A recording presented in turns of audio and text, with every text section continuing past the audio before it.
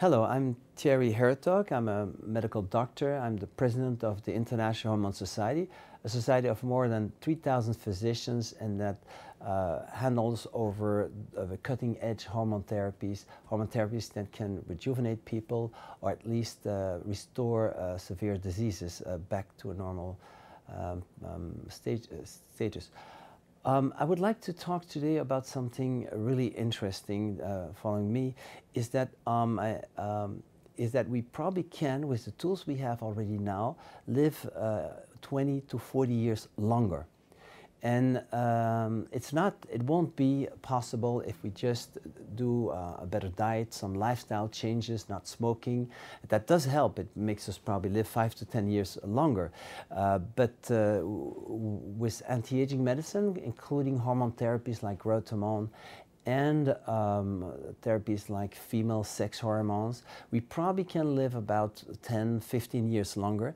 And uh, there are on the market uh, new types of uh, treatments like uh, organ transplants that are coming. Uh, you will be able in later to have some cells extracted from you, stem cells, that will probably be able to um, orient into multiplying into a whole real organ. So if you're missing a kidney, you could probably have a kidney replaced. And that sort of treatment, stem cell therapy plus organ transplant, and uh, some other um, treatments like telomerase activators that lengthen the ending of chromosomes that shorten at each cell division. So it's a treatment that possibly can prolong life. It does it in animals.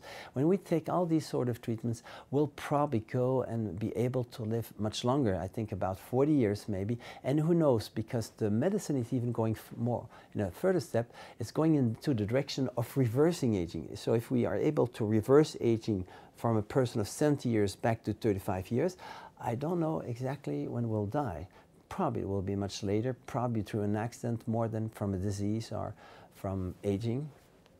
So what can we do now to really improve uh, our aging and to live longer?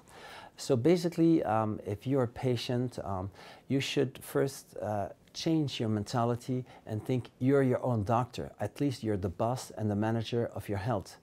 And when you have this idea that you can do a lot yourself and be your own doctor, you will be able to do a lot. You will do exercise more, you'll probably improve your diet, you'll inform, and you get into a better and better diet. You will avoid uh, drinking coffee every day and, and eating grilled foods, which are toxic, and you will eat more healthy foods like what is called the Paleolithic type diet, the diet of our ancestors. They eat raw foods, uh, raw vegetables, uh, fruits with low sugar content. They eat even raw meat, but you don't need to eat it raw, but you need to cook it at low temperature so you don't make any toxins. And you can also change your mentality. Um, this morning I gave a lecture at the Congress and basically uh, what I showed is that um, the centenarians, people become 100 years older, are completely different people. People much more positive.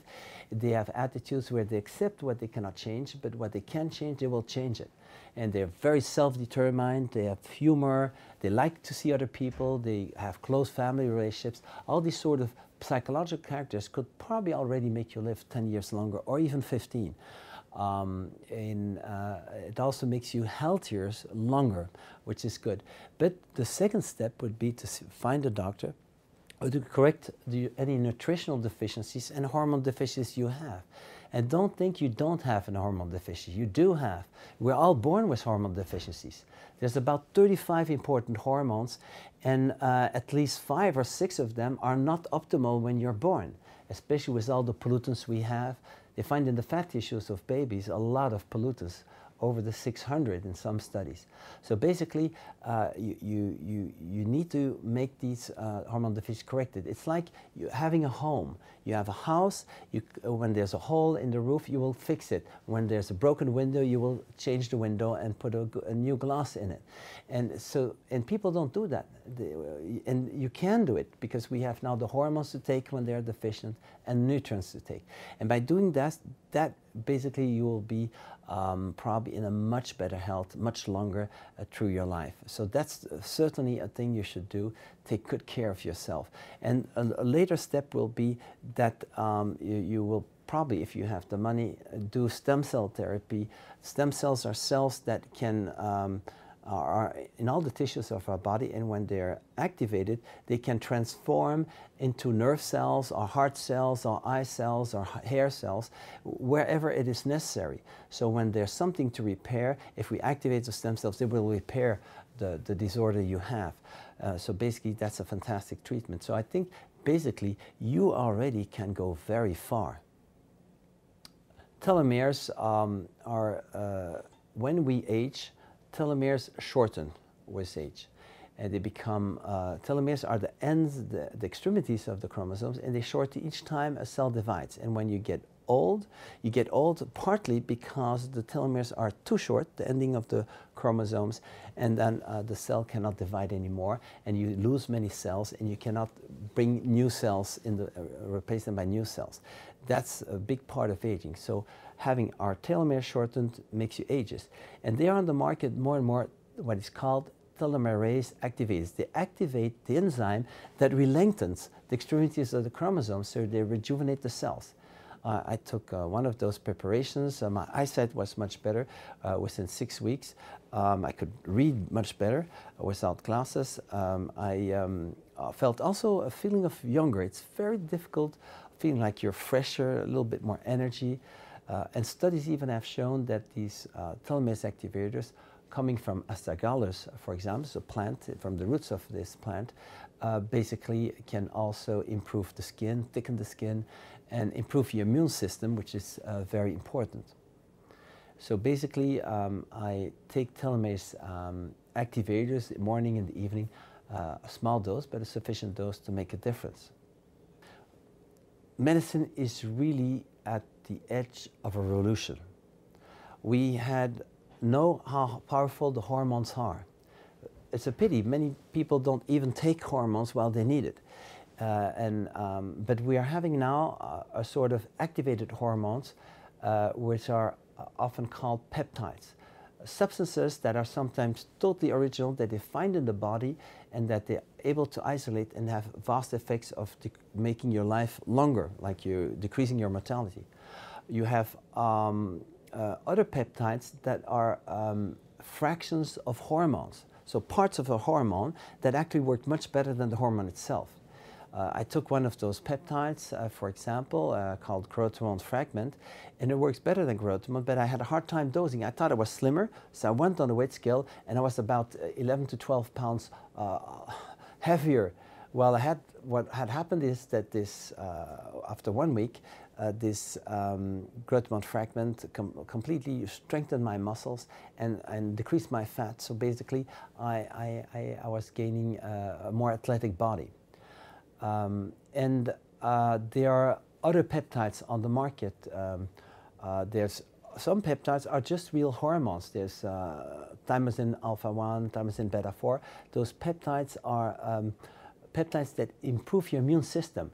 Um, for I'll give an example. I came back from Congress from uh, Miami uh, with a big jet lag because I live in Brussels, and uh, I went, came in the morning. I went in the swimming pool, which is very cold in Belgium, where I live. Um, I, I, swam in the swimming pool for half an hour. I, I, came out. It was stormy weather, cold weather, and storming with a lot of wind. Um, didn't get uh, some sore throat, which I would normally have. And I went then to work in a meadow where I have um, a horse that I'm trying to heal. So I'm next to it in the meadow, and I was doing some computer work with a lot of wind didn't get an infection, and I had a cold because I, I didn't bring the right clothes with me. And then after even I did a jogging of an hour, and uh, it was in the stormy weather, a little dangerous in the forest where I, I, claim, but basically it was all the wind, I didn't get infected. This is a miracle, uh, for me at least, uh, and uh, I have many patients I'm putting on this thymosin hormones and uh, they have Lyme disease, they cannot cure, they have uh, a sort of uh, fatigue that are due to small little infections that they are not completely aware of. Well, the immune system is so much better that they lose all this uh, sense of uh, all these little infections and, and, and they, they seem literally cured or at least much better with this treatment. Those are those famous peptides that I think we'll hear much more. And here is even the great news, is that many of those very potent hormone treatments are very expensive, but their activated peptide forms are actually much less. Uh, so they cost much less. It's maybe a fifth of the price or a seventh of the price. So it becomes that this very potent reversing aging therapies actually are becoming available to almost everyone. For each of these peptides, there are special indications. You have peptides that improve sexuality even better in men than Viagra and, and, and that are extremely potent for women. And there are uh, peptides also uh, that like improve the immune system, like the thymosin hormones that I was talking. There are peptides that uh, improve uh, repair of cartilage. Uh, one is TB500, for example, many, much used in, in animals uh, for the moment in veterinarian. Um, there's uh, peptides that also make your muscles mu much bigger and, and that block your muscle breakdown. Uh, so it's really, uh, we're, we're in an extraordinary period of um, humanity. When you, you take these peptides, you can, of course, make abuse of those peptides and get the sort of bodybuilder uh, aspect for some of these peptides. Uh, but that's not the purpose. The purpose is to do long term because if ever you have a bigger body, you need more of all the other hormones, the 35 other hormones.